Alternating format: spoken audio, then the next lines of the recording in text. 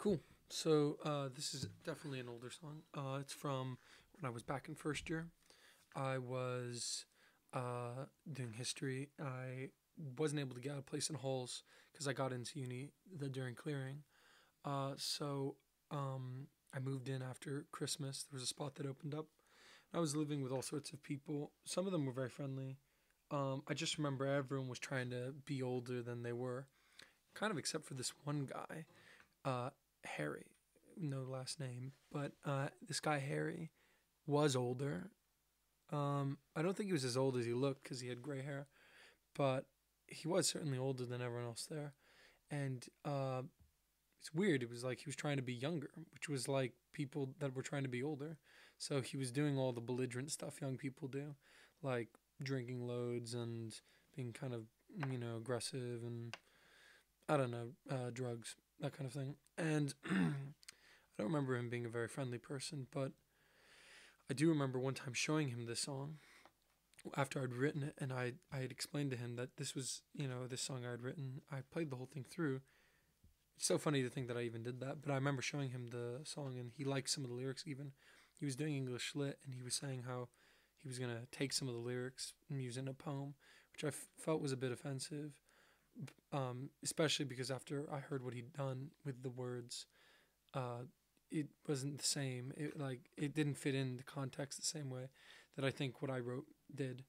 Um, it's an old piece, um, and I, I wrote it six years ago now, but I never did a video of it or you know recorded it, and I figured I owed that much at least to the song.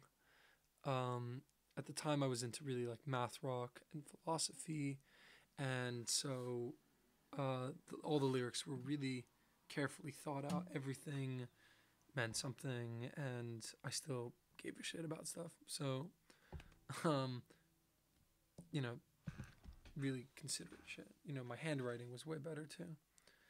Anyway, uh, I figured I'd do a video of it, just looking over some old stuff. So yeah.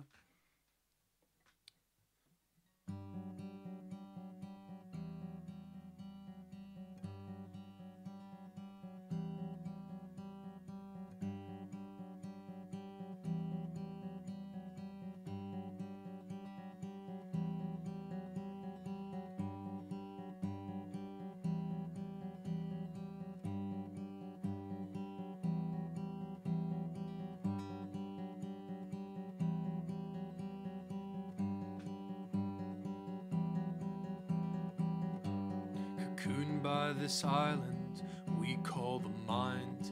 Inside this mind we call a shrine. All of these thoughts I say are mine. Things I would feel and you never find. Under the sun, all things behind.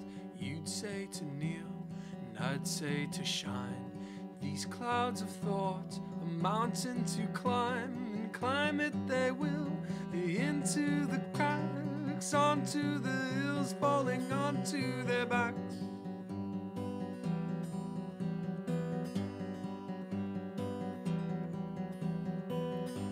Some choose to walk, maybe to drive, but all that do kill, so I'll choose to glide. I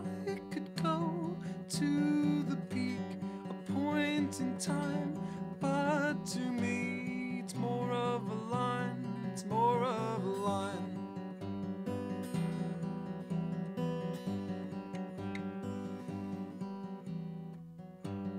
Proofs and truths that I would chant from the pinnacle. More so I'd pant with no one to hear, even with air this clear. Then I would scream, then I would fear. A cheer, then I would peer down from this loft. So small, clouds so soft, exhausted. Just to jump off.